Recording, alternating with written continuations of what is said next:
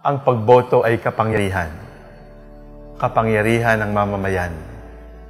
Ang pagboto ay banal sapagkat ang pagboto ay dapat nating gamitin bilang pagpapahayag ng kalooban ng Diyos para sa ating bayan. Ang pagboto ay pagpili. At sa ating pagpili, hindi natin maaaring ihiwalay ang Diyos sapagkat ang pagpiling walang Diyos ay hindi makakabuti sa atin. Sa katunayan, ito ay makakasama para sa atin. Anong una nating dapat gawin? See. Look around. See what is going on.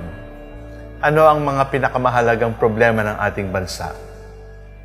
Nandiyan ang kahirapan, nandiyan ang corruption, nandiyan ang kamatayan, nandiyan ang karahasan, nandiyan ang kabastusan, nandiyan ang kasinungalingan. Ito ang namamayani sa ating bayan.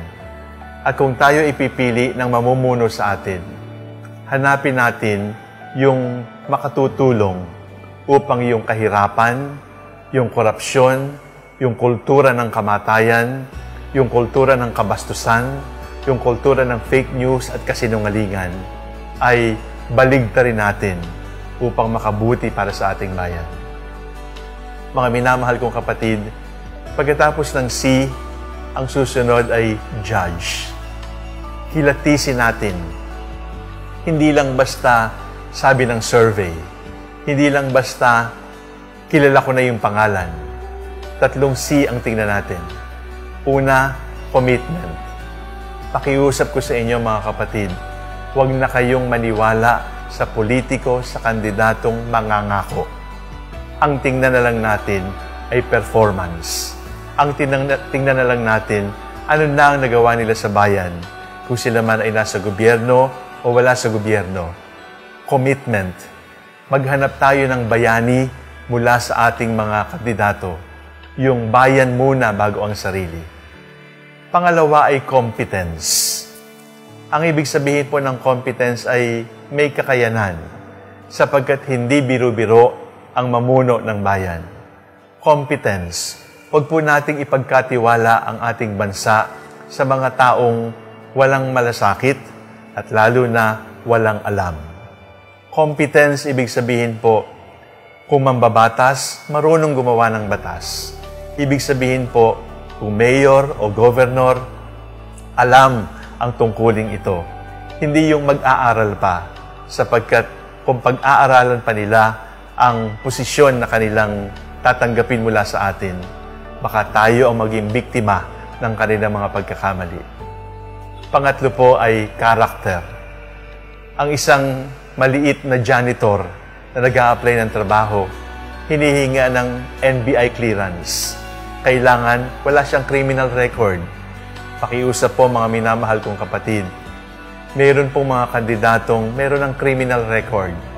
Meron pong mga kandidatong alam na natin ang ginawa laban sa bayan, laban sa batas. Pumili po tayo ng masusi. Pumili po tayo ayon sa kalooban ng Diyos. Hanapin natin ang tatlo. Commitment, competence, at character. See, judge. At ang pangatlo, act.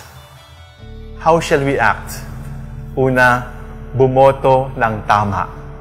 Sapagkat kapag kayo po ay bumoto ng tama, hindi kayo maaari mag-isa. Sapagkat ang botante na bumoboto ng tama kasama ang Diyos. And with God, we are always a majority. Ang pagboto ng tama ay pagbotong panalo. Kahit ano ang sabihin nila, panalo kapag ikaw ay bumoto ng tama. Pangalawa, bumoto ng tapat. Huwag nating tingnan ang isang balding grocery. Huwag nating tingnan ang 500. Sa loob lamang ng ilang minuto ay madaling maubos. At pagkatapos, nanakawan nila ang ating bayan. Mga minamahal kong kapatid, bumoto tayo ng tapat. Yung maaari nating sabihin sa ating mga anak, sa ating mga apo, nang ako ay bumoto, hindi sarili ko ang aking inisip. Ang inisip ko ay ang kapakanan mo, ang kinabukasan mo. At ang pangatlo, sa See Judge Act, tayo ay bumoto ng may tapang. Panindigan natin ito. Minsan hindi tayo pinakikinggan. Nagiging mahalaga lang tayong botante kapag panahon ng eleksyon sapagkat kailangan nila tayo. Tapangan natin yung mga lumapastangan sa atin, yung mga nagwalang bahala sa atin, yung mga nagnakaw sa atin, yung mga pumatay ng mahal natin sa buhay. Tapangan natin, panindigan natin, at alisin natin sa kanila ang kapangyarihang pinaglaruan at kanilang inabuso. Brothers and sisters, this coming elections, see around, judge and act. See with the eyes of God. Judge with the mind of God. And act with the power of God. God bless you all.